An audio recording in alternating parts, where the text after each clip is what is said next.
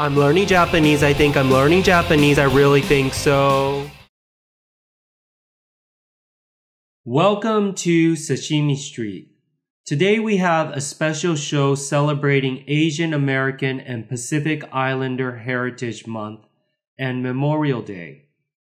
Dr. Susumu Ito was a Nisei, second generation Japanese American, and a veteran of the Second World War. In 2010, he received the Congressional Gold Medal from President Obama for his service and the services of Japanese Americans in World War II. There are about one and a half million people in the US who consider themselves as Japanese Americans. They are the sixth largest Asian American group, but throughout the 20th century, they were among the three largest Asian American communities. Japanese first migrated to the US at the start of the Meiji period with the end of the 250 year long closed door policy of the Tokugawa period. Meiji period. Black ships appear on the coast demanding the country to be opened.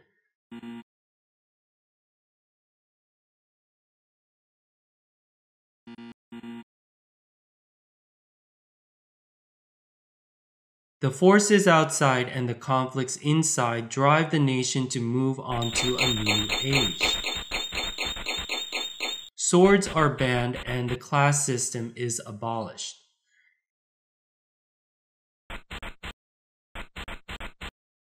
Everyone becomes a commoner. People quickly pick up the Western trends.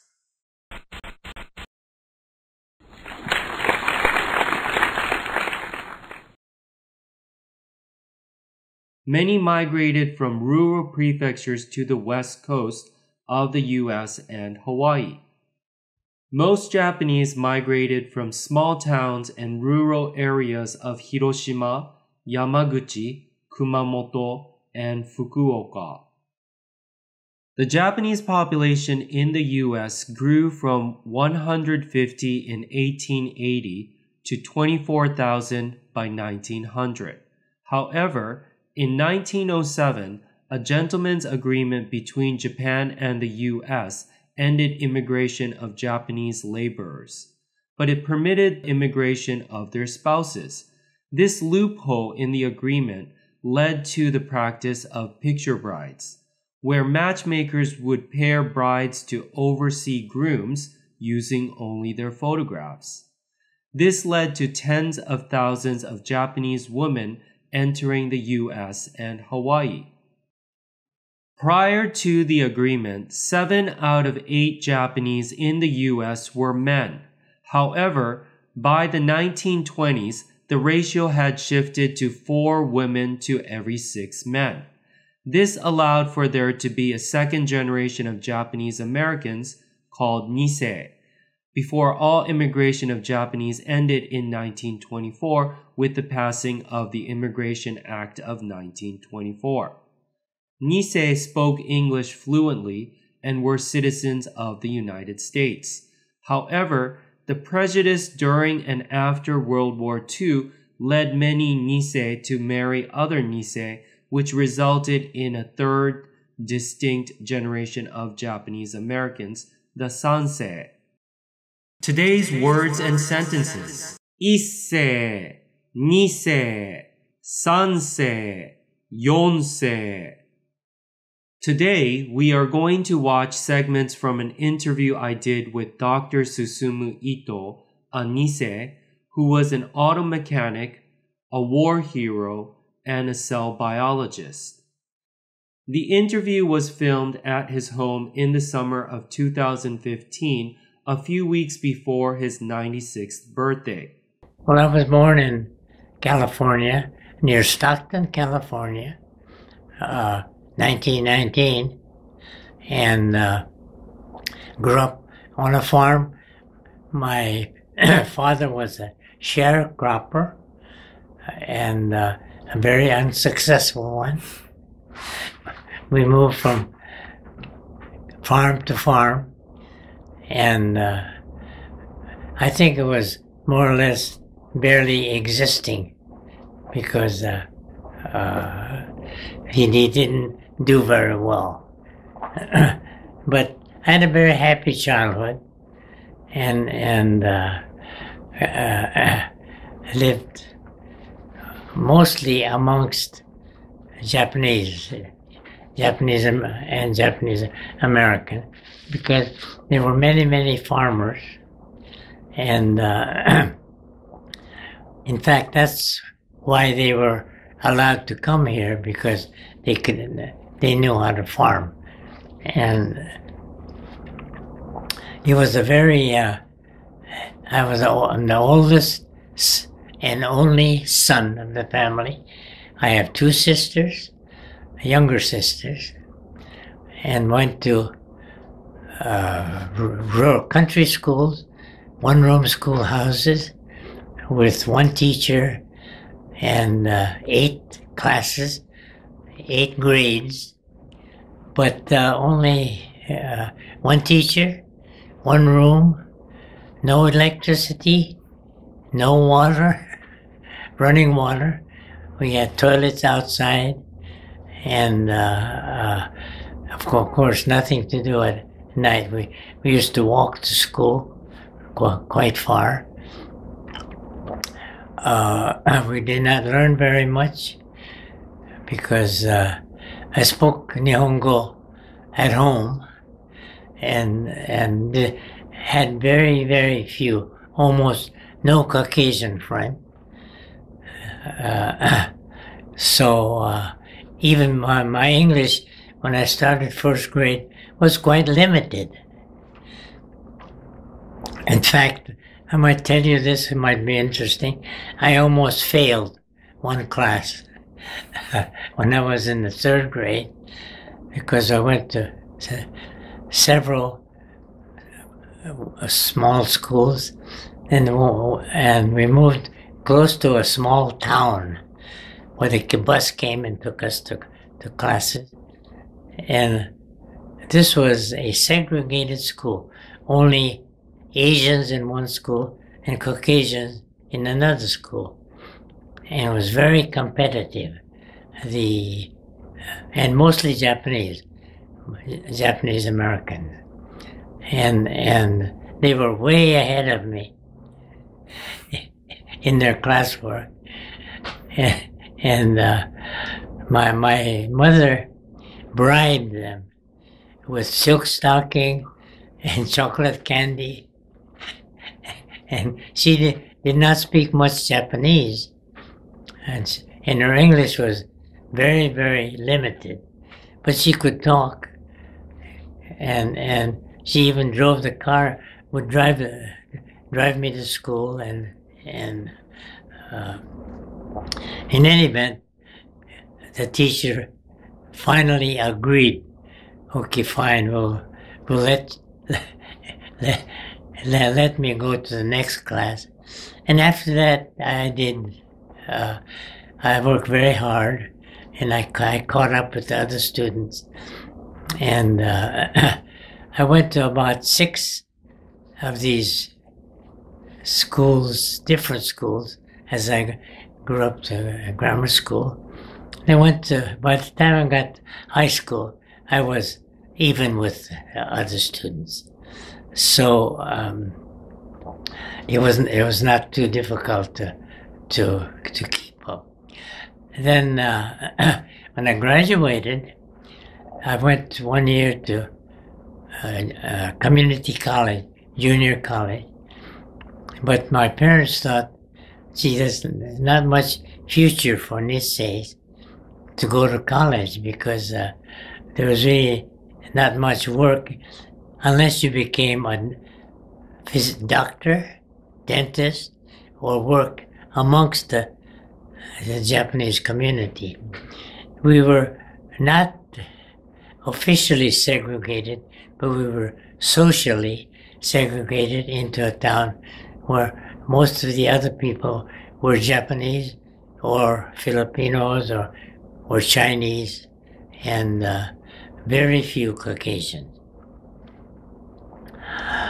Uh, I went one year to college, but uh, uh, my parents thought it would be more beneficial if I did something th- that uh, I would have a job to do. And, and they knew that I very much enjoyed driving and uh, uh, uh, repairing cars. So they said, why don't you go to auto mechanic school? I said, gee, I said, that sounds,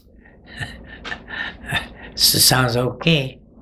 I was admitted to UC Berkeley, but uh, uh, uh, they, they still thought being an auto mechanic or working is something you like to do is better.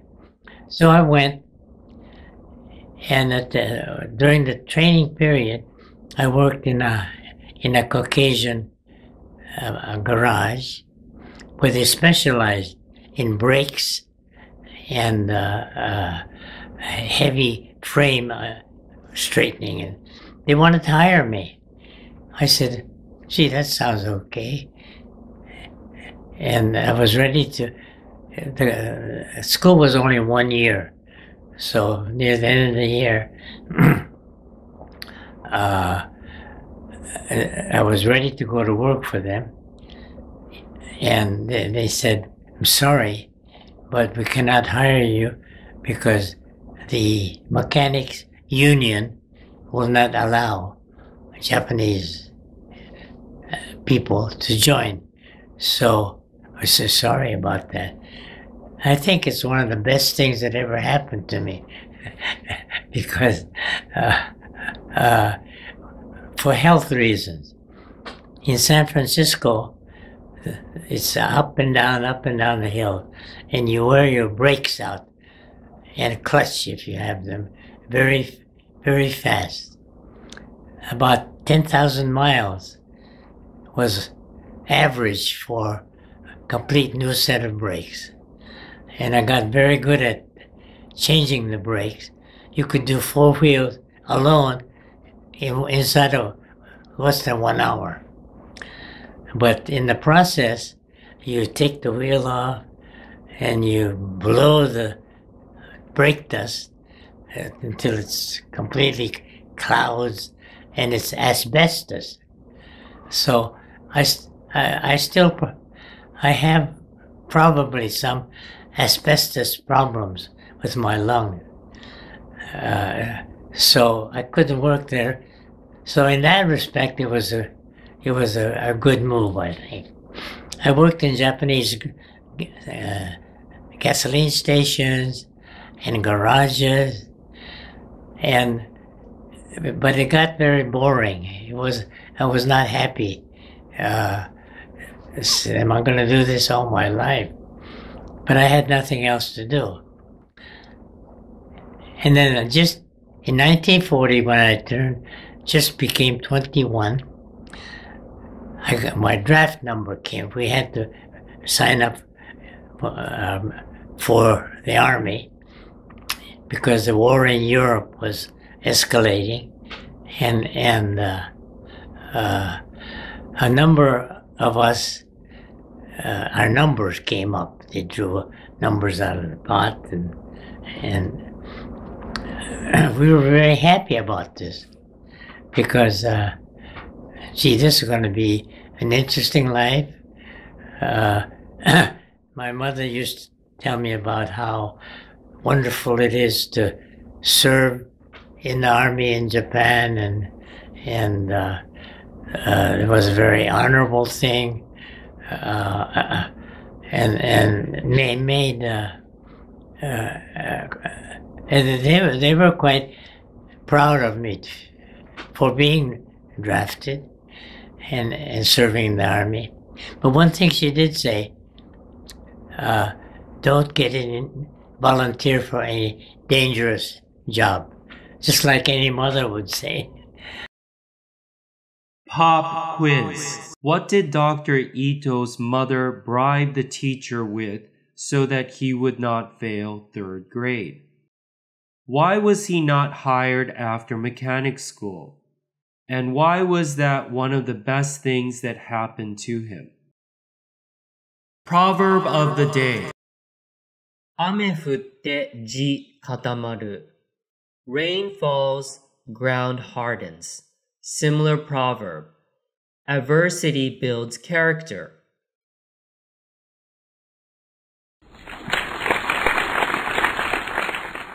Meiji, Taisho, and Showa period. Japan joins the Western nations in a race for expansion.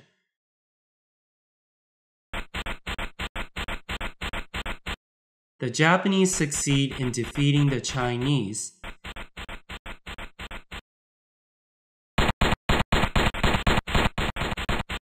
And then the Russians.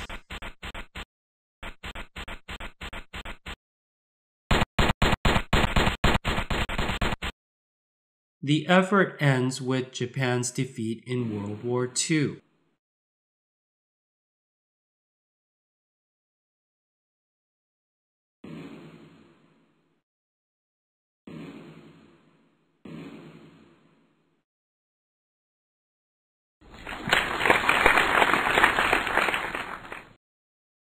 In the second part of the interview, Dr. Ito describes his military experience before and during the war. So, when the war started, we were in a mixed unit, but they took all the uh, Japanese Americans out.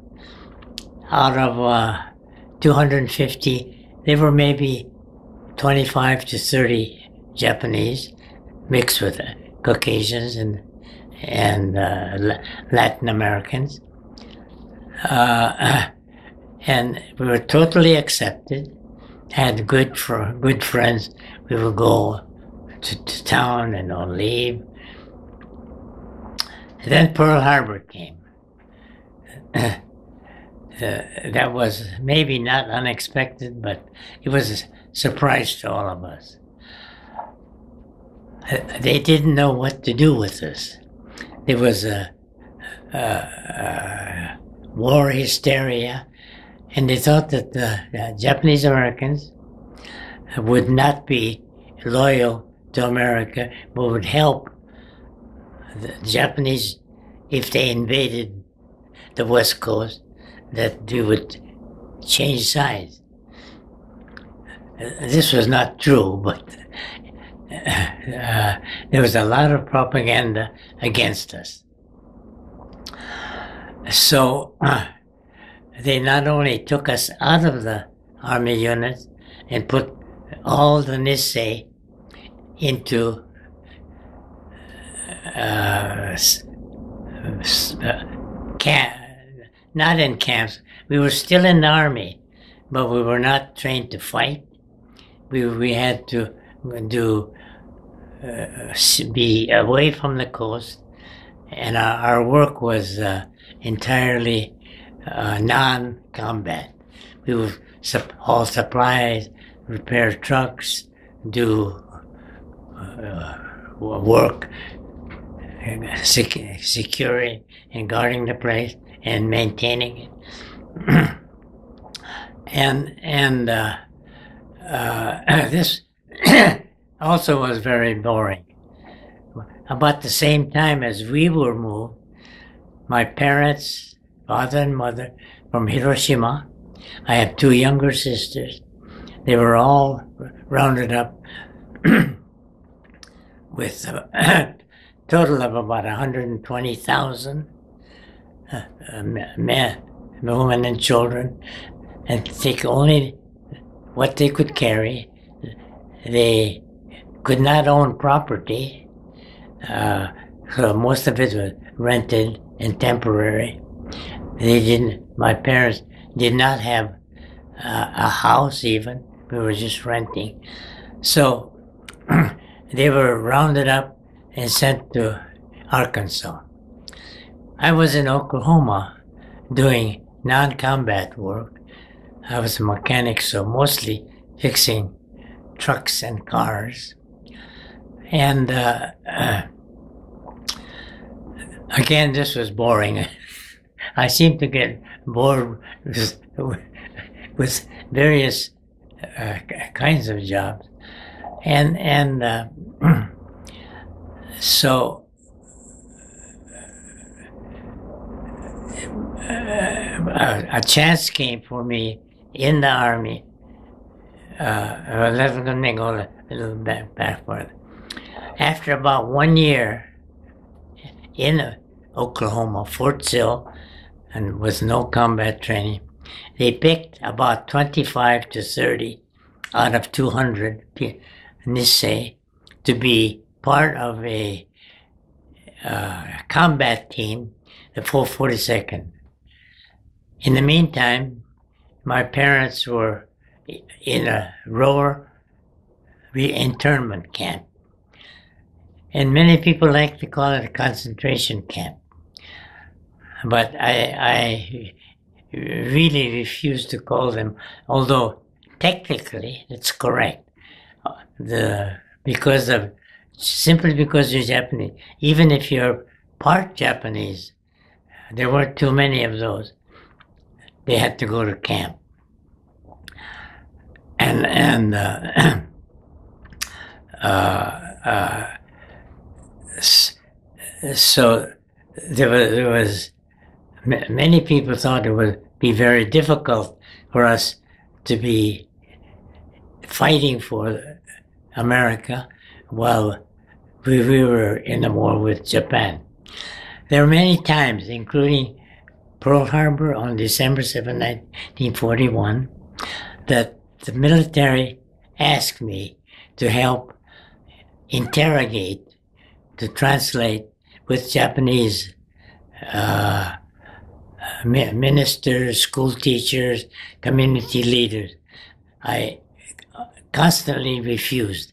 I said, because first of all, I did not feel that this is what I wanted to do. Also, I, uh, my Japanese was very, is and was and still is very poor. so, so I was ashamed, constantly ashamed of this. And anyway, in any event, uh, uh, I uh, uh, refused to do that. Throughout the war, throughout the war, the military intelligence school was first in in uh, uh, early in San Francisco, then in was was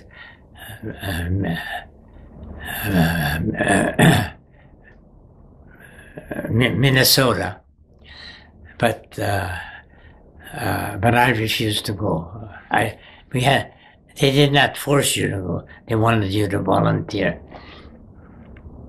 So I was happy not to be in the military intelligence, but I was bored with the kind of work that I had uh, uh, as, as an auto mechanic. In the meantime, uh, I was in the army. I had a very safe job, but my my mother made for me a senninbari. Yeah, like this. It has a tiger and uh, a thousand stitches. I, I thought all Japanese know what a senninbari was, but I guess not.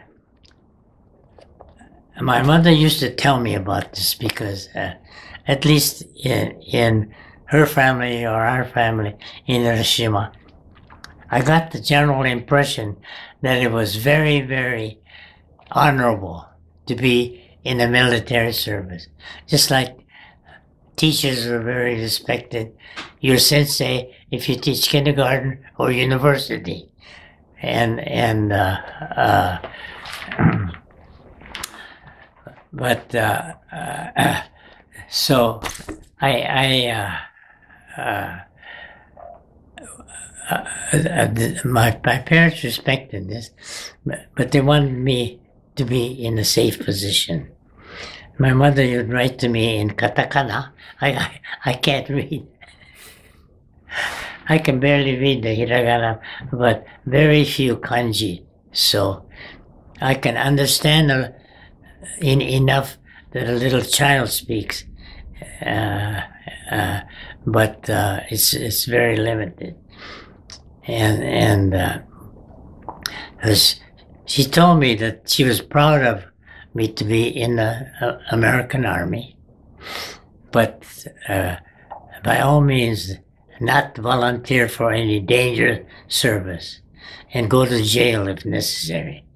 And th- this is what I think every concerned or loving parent would think of their children. And uh, I was not an exception. Uh, but I was bored. So when the chance came to volunteer for a more active combat position. I, from an auto mechanic, I had, I was a staff sergeant, but the same rank, there was a instrument sergeant who became an observer, or sometimes they're called spotters, to find see when you see enemy targets, you can direct. You go up ahead with the infantry, or to some place where you near the in the front lines and direct artillery.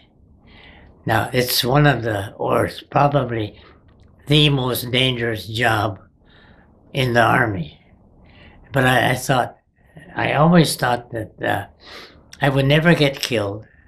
I might get wounded, but I, I had a complete positive frame of mind.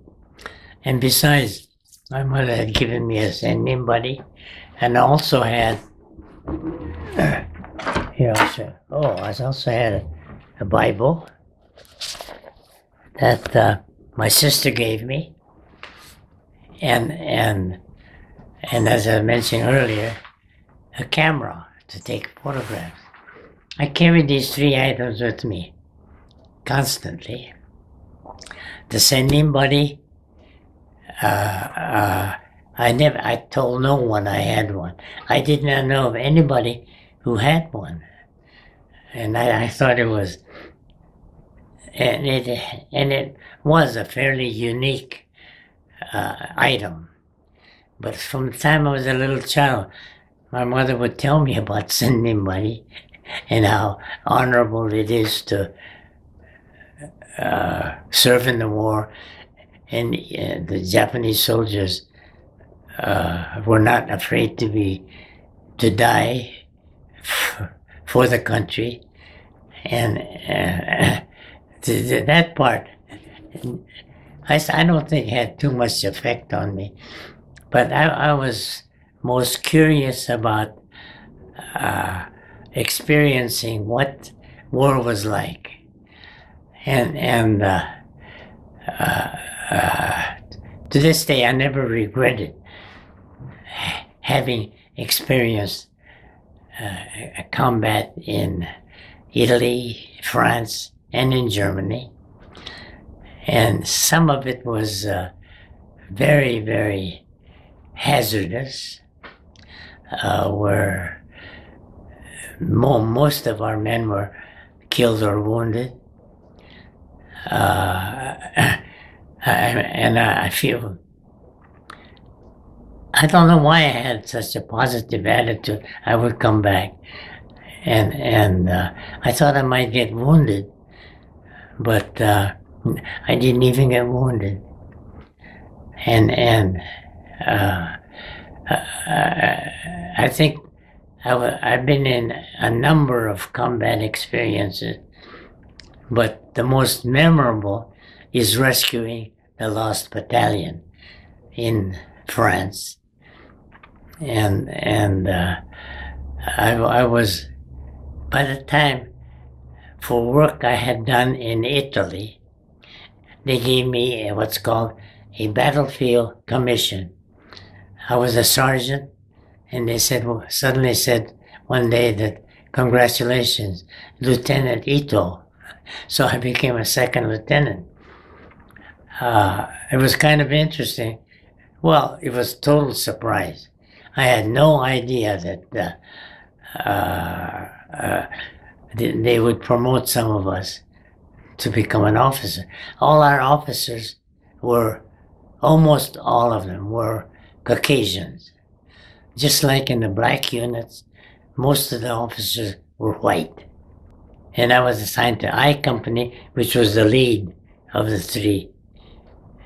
And, and my, my job was to uh, find, the, find targets or be shown targets and, and bring artillery fire on them.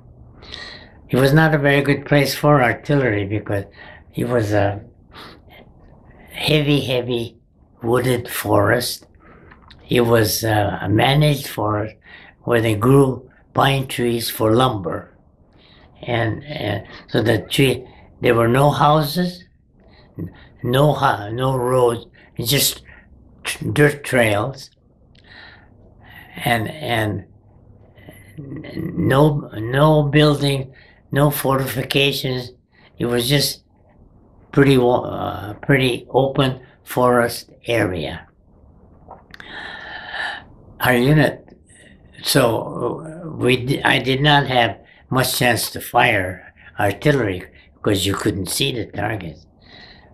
Uh, the one time that I did, I had to shoot just by sound where the shells were going, but without much success.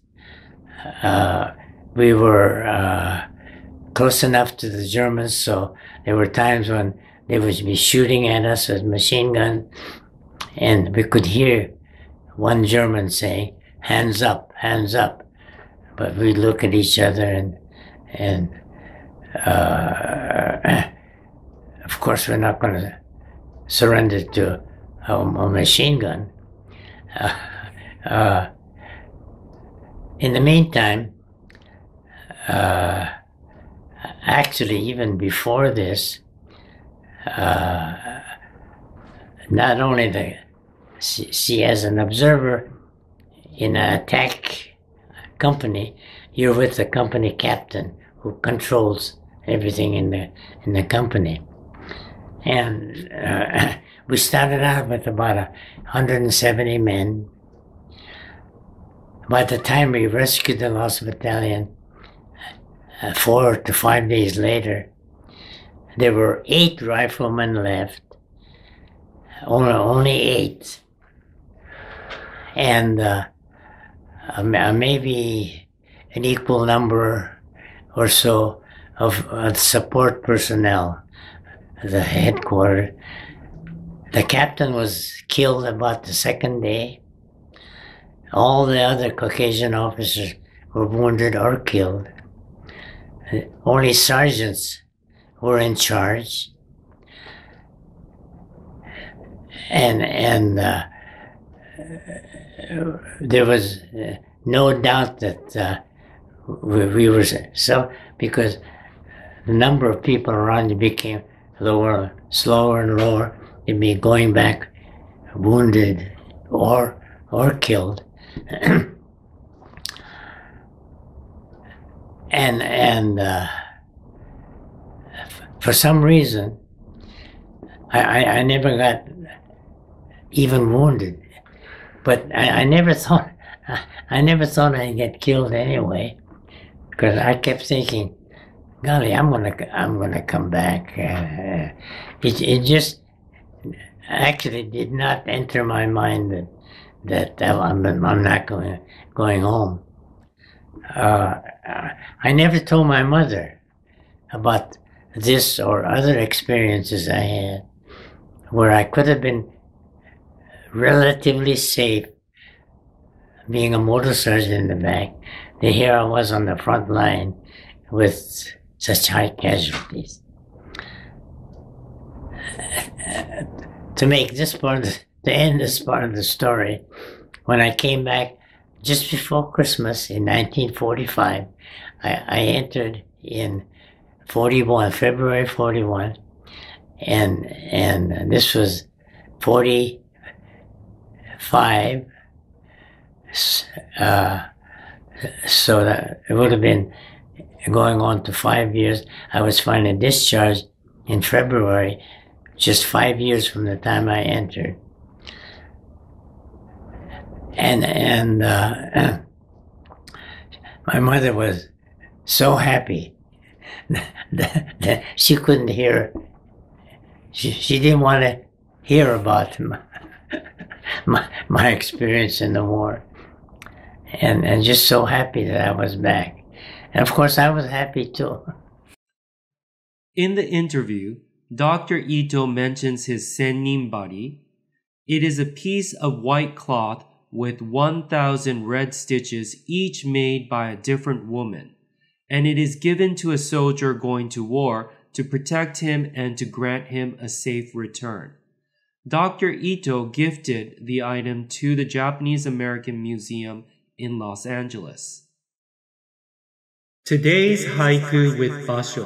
Choose which translation sounds the best. 夏草やつわものどもが夢の後。Ah, summer grasses, all that remains of the warrior's dreams. Summer grasses, all that remains of soldiers' dreams. Here where a thousand captains swore grand conquest, tall grasses their monument. Pop quiz. How was Dr. Ito's experience in the military different before and after Pearl Harbor? What were the three items that he took with him to war? In the third part of the interview, Dr. Ito describes his career after the war as a cell biologist. My sisters, uh, or, my cousin, they, they, they got a, had a job in, in uh, Cleveland, and my parents had no ofro to go back to in Stockton. So they went to Cleveland. So uh, I, after the war, I lived in there. I finished, and I was working in a garage, but again, that was very boring. So uh, I, fa- I finished my undergraduate school, uh, and uh, I, I, I like biology, so I think and and my professors would tell me, why don't you go into medicine or dentistry or engineering perhaps? And I said, no, but I, I simply like biology. So I took all the biology courses I, did, I could. I had a very good friend, Katsuma Dan, who was uh, a, a, professor. He was president of uh, uh, Tokyo Metropolitan University that started after World War II. And I got to know him at Woods Hole in Massachusetts. I used to, I was in Cleveland, but I, I would go to the Marine Lab and, and met scientists from all over Europe, South America, uh, Japan, uh, and all over the country uh, wonderful, wonderful atmosphere, the Marine Biological Laboratory. And this Katsuma Dan, Dan Sensei became very good friends. And, and uh, we, we would stay up late into the night. In fact, I, I worked in his lab with him some. We were studying uh, how cells divide. Uh, one egg divides into two cells four cells, so forth. And, and the mechanism with that. I got so interested that uh, uh, I, I, I did that work for quite a bit. Uh, and always interested in individual cells and the mechanism of, uh, of, of how cellular processes take place. Graduated with my PhD. I got, I got a job in um, Columbia. I'm, I'm sorry. Uh, I was at at Cornell University Medical School. I'd never been to medical school, but uh, I was hired to go teach there. And and uh, uh, I was on my way to a postdoc in the Max Planck Institute in Germany. uh, when I graduated. I did a short postdoc at Columbia University, and then this chance came to go to Germany. So I went there. I had no job to come back to. I had uh, interviews at the National Argonne National Laboratory, and and uh, they wanted me to come there in Chicago, outside of Chicago. But uh, it didn't quite appeal to me. But but I got a job at at Cornell Medical School, and I worked there uh, again on cellular cytology, uh, structure of the cells, structure and function. And at the time, this my my new boss said, "We have nobody teaching digestive tract, stomach, uh, intestine, mouth, salivary gland. So will you give lectures on that?" So I said, "Well, I, I don't know too much about it. I took a, you know, a course. Everybody knows a little bit about." It. I had to keep one step ahead of the students from day to day, uh, learning about a new field. And it intrigued me that uh, uh, uh, when you start talking about the stomach, you have, because you try to relate function to the stomach, and it secretes acid. Acid one over one million times more acid than neutral. So it has to come from some cell in the stomach. No one knew. You know, I go to the library and look at textbooks and reference books to, to learn what I should tell the students. And it all comes out that said, well, it's not really known. There are five, uh, five, possibly six different cell types in the stomach. But is, uh, there are three possible candidates, three different cells that probably produces the acid, most likely. But nobody's ever been able to prove it. I became an expert on the structure of the stomach and and one cell which was different than anything else and almost different from any other cell in the body. So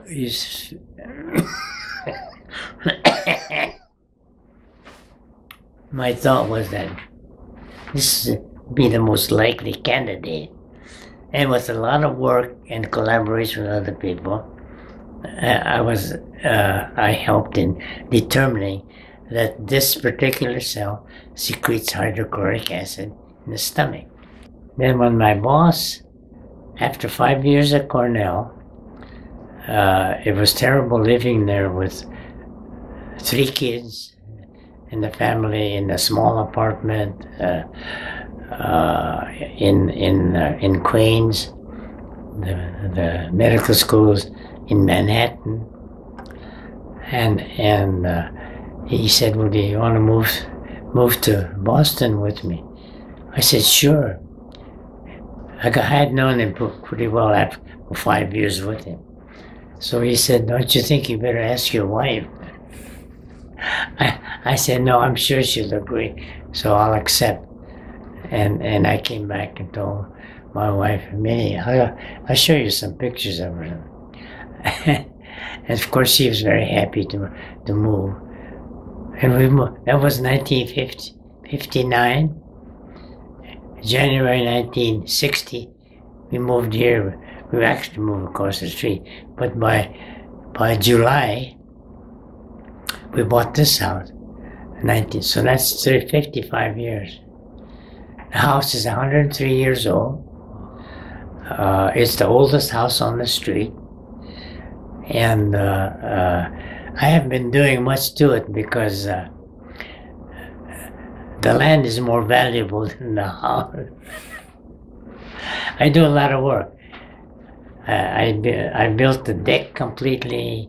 I put all the shingles in the house, the roof, the doors, the windows, and I uh, I painted it. I I painted this house too. But I make things like this table, the kitchen table. I put the back door in. All for, all for fun. So so honors, you said. Well, uh, I accept whatever whatever small honors that, that happen to come by. And I, th- I think the, the next thing I'm looking forward to is next month when they make an exhibition of my my photographs.